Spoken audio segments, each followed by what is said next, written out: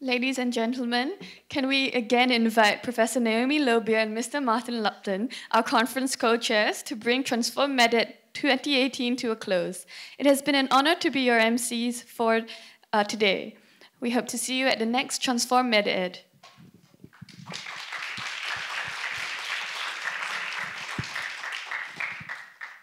We haven't rehearsed it. We haven't, we haven't, but... Uh... So I think as the guest, all I should first of all say thank you very much to our hosts who are LKC Medicine. I think they've looked after us spectacularly well, fed us in the way Singaporeans do, which is to excess.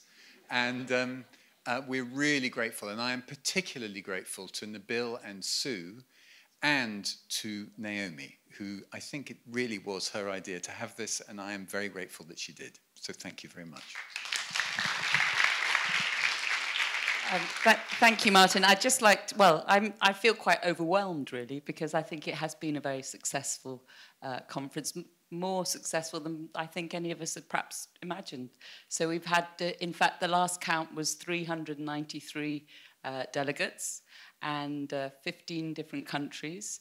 And I think it's been, uh, you know, there's been a great energy in all the rooms. There've been fantastic speakers and very stimulating uh, discussions.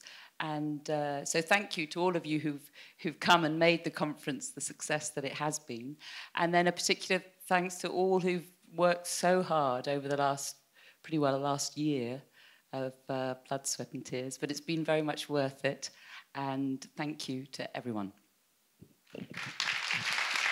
And we, and we hope to see you in London in spring 2020.